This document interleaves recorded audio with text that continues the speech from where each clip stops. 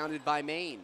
Up 9 to 8. First lead of the game after the Frazier lay in. And the kick out to Johnson for three. He drills it from the right side.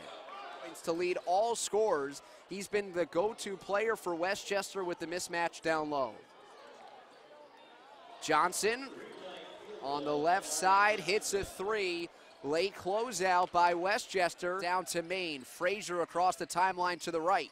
Crossover dribble, now behind the back feed. Johnson, a straightaway three, rattles in. Offensive flow to start this game and big shot by Walker Russell Jr. Johnson has the answer over strong, drilled it from the right wing. A catch and shoot over the 6'11 forward. The trailer skips it to Brown, makes the catch in front of Magruder. It gets back to Johnson, right wing three, splash.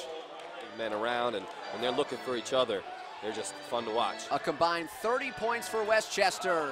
Johnson tees it up and ring it up for Omari Johnson from three over Darnell Jackson. Watched by Lamb. High screen Sampson.